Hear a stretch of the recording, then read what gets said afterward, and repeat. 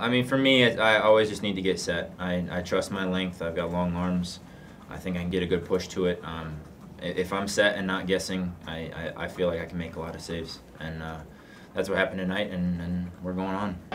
Low cross, top of the box, chipped in, wide, Ketterer, what a save! I've always, you know, believed in myself and thought I had the quality, and but it's, it's great to show it now, and it's, it's great that our team's showing it, and we're we're hitting a good stride, you know. We, we, we could have finished a couple more chances, but at the end of the day, it's 3-0, and we put the game away when we needed it. Rebound and the bounce straight to Ketterer. Barahona right into the middle, tipped in Ketterer.